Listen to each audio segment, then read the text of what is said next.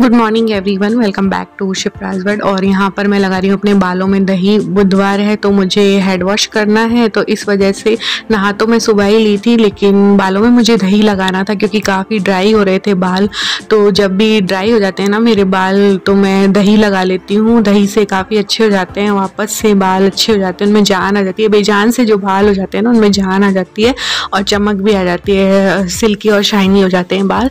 तो दही लगा लिया था, बालों में बन बना लिया लिया था दही सूखेगा तब तक। मैंने सोचा दूसरे काम निपटा लेती हूँ तो यहाँ पर मैंने मशीन लगा दी है और बुधवार के दिन मैं काफ़ी बिज़ी रहती हूँ क्योंकि गुरुवार के दिन ना ही मैं कपड़े धोती हूँ ना ही आ, मतलब दूसरे ऐसे काम करती हूँ जो मना होते हैं गुरुवार के दिन करने के लिए। और ऊपर से आज मेरी जो हाउस हेल्पर है वो भी नहीं आई है तो काम मेरा जो है वो डबल हो गया है। तो बस मशीन वगैरह लगाऊँगी उसके बाद मैंने खाने की भी थोड़ी बहुत प्रिपरेशन कर रखी है।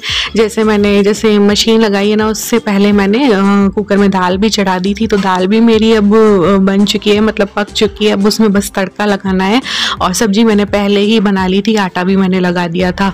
तो बालों में दही लगाने से पहले आटा लगा दिया था, सब्ज़ी बना ली थी और कुकर में बाद में फिर जब मशीन लगा रही थी तो दाल चढ़ा दी थी। तो दाल अब तैयार हो चुकी है तो अभी मैं तड़के की तैयारी कर लूँगी। तो तड़के के लिए बस टमाटर और हरी मिर्ची को कट करूँगी और फटाफट से इसमें तड़का लगा दूँगी। तो यहाँ पर मेरा घी गर्म हो चुका है और आज मैं राई और जीरा दोनों का दोनों का ही तड़का लगा रही हूँ। साथ में इसमें हींग ऐड कर देंगे और वही बस टमाटर और हरी मिर्ची को ऐड कर दूँगी। मैंने सोचा था टमाटर इस छोटे से फ्राइंग पैन में आ ही जाएगा तड़के वाले में, लेकिन थोड़े से टमाटर ज़्यादा हो रहे थे, पर कोई ना कभी कभी चलता है। तो बड़ा पेन लेना चाहिए था बट मैंने छोटा ले लिया। चलो, कोई बात नहीं, इसमें भी काम चल गया। तो बस तड़का मेरा तैयार हो चुका है, दाल में तड़का दे दूँगी। और अब बस फुलके सेकने का काम रहा है तो फटाफट फुलके भी सेक लूँगी। दाल में तड़का लगाने के बाद फुलके सेक लूँगी। और यहाँ पर मैं हेड वॉश वगैरह करके आ गई हूँ और बस थोड़ा सा तैयार होंगी और वैसे भी आप लोगों को पता ही है, मैं ओनली फेयर एंड लवली लगाती हूँ फेस पे ज़्यादा कुछ भी नहीं लगाती। और अभी आगे चलकर मैं आपको अपने जो budget friendly skin care products हैं ना, वो भी दिखाऊँगी। तो बस हल्का सा ही तैयार हो रही हूँ क्रीम लगा लिया, काजल लगा लिया। और मुझे तो वैसे भी ज़्यादा महँगे प्रोडक्ट्स यूज़ करना अच्छा भी नहीं लगता है। पैसे की भी बर्बादी होती है और जैसे मैंने बहुत सी लेडीज़ को देखा है पार्लर में जाकर फेशियल कराती हैं और स्पा वगैरह लेती हैं बालों के लिए तो ये सब मुझे समय और धन की बर्बादी लगती है तो मैं तो खुद से ही कर लेती हूँ। जैसे बालों में ड्राई हो रहे थे तो दही लगा लिया। स्किन केयर के प्रोडक्ट्स भी मैं आपको बताऊँगी मैं क्या क्या यूज़ करती हूँ। बहुत ही हमारे मतलब अंडर बजट में होते हैं वो सारे प्रोडक्ट्स तो बस तैयार व्यार होने के बाद मैं यहाँ पर किचन को क्लीन कर रही हूँ। फुलके मैंने सेक के रख लिए थे क्योंकि किसी को भी खाने नहीं थे, पहले मैंने सोचा था गरम गरम फुलके सबको खिला दूँगी। लेकिन सब किसी को भी भूख नहीं थी तो फिर मैंने फुलके सेक करके रख दिए हैं। और जब सब लोग फ्री हो जाएँगे तो साथ में बैठ करके लंच कर लेंगे। इतने में ही मेरी आ, मेरे जो हैं कपड़े भी धुल चुके थे तो मैंने सोचा चलो हैंड टू हैंड कपड़े भी सुखा देती हूँ क्योंकि गर्मियों में यही लगता है ना कि फटाफट से काम से फ्री हो तो आ, मतलब रूम में आकर एसी कूलर में आकर बैठें क्योंकि किचन का भी काम रहता ही है। सुबह से लेकर दोपहर हो जाती है काम करते करते तो ऐसा ही लगता है कि फटाफट से काम निपटे तो बस ठंडक में आकर रेस्ट करें।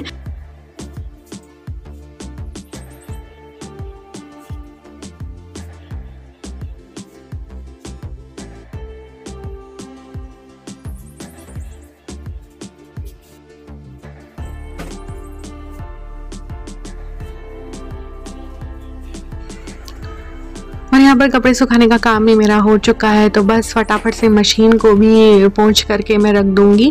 वैसे तो बाहर रहती है तो थोड़ी बहुत मिठूल मिट्टी इसमें चढ़ ही जाती है, लेकिन फिर भी एक बार कपड़े वगैरह धोने के बाद ना मैं इसे अच्छे से गीले कपड़े से पहुँच देती हूँ। और इसका ना कवर मुझे मंगवाना है, नंबर ही नहीं आ रहा है इसके कवर का।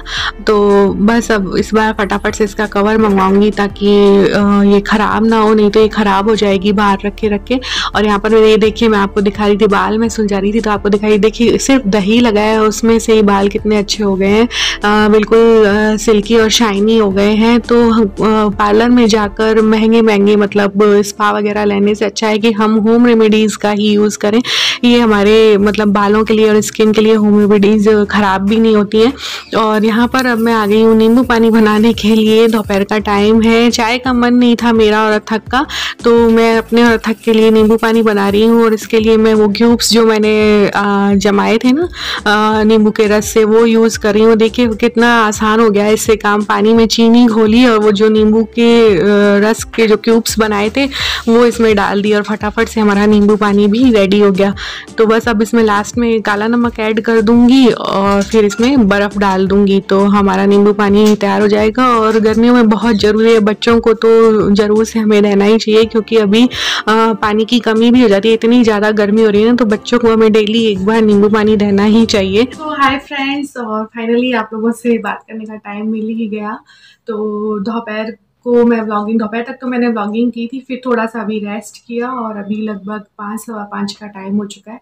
तो मैंने सोचा चलिए आपको मेरे बजट फ्रेंडली जो स्किन केयर प्रोडक्ट्स हैं वो मैं आप लोगों को आज बताती हूँ। तो आ, मैंने सोचा चलो जो मैं यूज़ करती हूँ अपनी स्किन के लिए मेरे पास काफ़ी क्वेश्चन भी होते हैं कि दी आप अपनी स्किन के लिए क्या यूज़ करते हैं? तो मैं ज़्यादा कुछ यूज़ नहीं करती हूँ तो मैं आपको दिखा देती हूँ। एक तो मैं ये यूज़ करती हूँ एवर यूथ का वॉलनट का स्क्रब होता है फेस स्क्रब होता है, इसे आप मंथ में दो बार यूज़ कर सकते हैं या मंथ में आप चार बार यूज़ कर सकते हैं और ये बहुत ही सस्ता होता है। ये ना ओनली सेवेंटी रुपीज़ का होता है, यहाँ पे इसका प्राइस भी है, आपको दिखेगा नहीं बट ये सेवेंटी रुपीज़ का आता है और ये आपका लगभग दो से ढाई महीने इजीली चलता है। अगर आप इसका मंथ में चार बार यूज़ करेंगे तो ये ढाई महीने इजीली आपका चलेगा और एक मैं यूज़ करती करती हूँ एवर यूथ का ही golden glow peel off mask use करती हूँ। इसे भी आप वीक में या पंद्रह दिन में एक बार यूज़ कर सकते हैं। आप लोगों ने इसका एड भी देखा होगा, काफ़ी अच्छा है ये भी।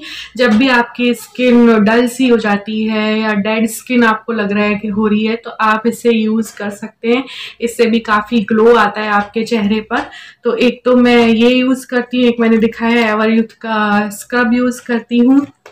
और एक एवर यूथ का ही आ, फेस पैक यूज़ करती हूँ मैं। ये पाउडर फॉर्म में होता है और ये ओनली ट्वेंटी रुपीज़ का है। मैं आपको दिखा दूँ यहाँ पे आपको कैमरा कैप्चर नहीं कर पाएगा लेकिन ये ओनली ट्वेंटी रुपीज़ का है।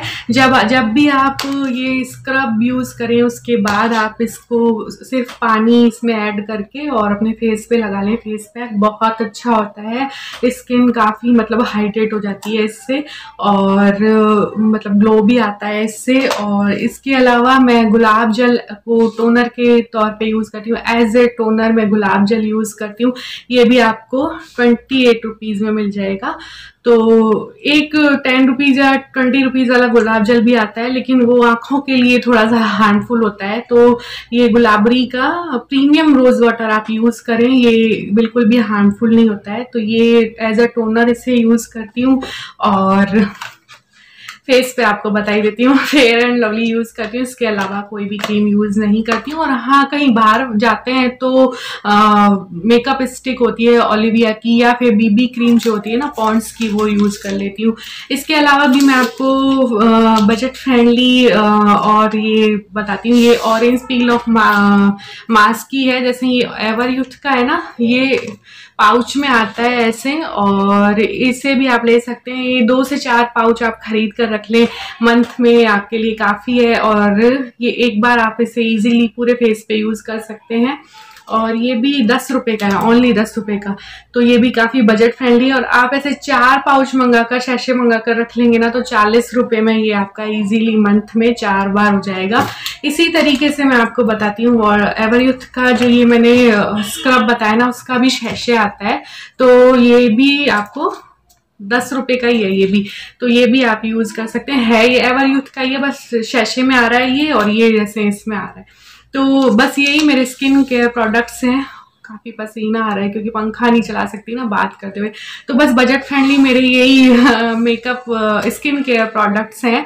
आ, मुझे तो पार्लर जाके दो दो तीन तीन घंटे वहाँ बैठकर समय ख़राब करना भी ठीक नहीं लगता है और पैसे ख़राब करना भी ठीक नहीं लगता है। अब देखिए ये सत्तर रुपये का है तो इसको आप दो से ढाई महीने आप यूज़ कर सकते हैं। मंथ में चार बार यूज़ करना है बस इसे और ये इजीली आपका ढाई मंथ चलेगा। सत्तर रुपये का ये हुआ। इसी तरीके से इसकी रेट मैंने क्या बताई थी आपको? इसकी रेट है फोर्टी फाइव का है ये। ये भी आपका इजीली तीन से चार महीने चलेगा ये तो आपका। तो ये सारे जो प्रोडक्ट्स हैं, आप अगर एक साथ भी खरीदते हैं तो तीन सौ से चार सौ रुपये में आ जाते हैं और ये तीन से चार महीने के लिए हमारे इजीली चलते हैं।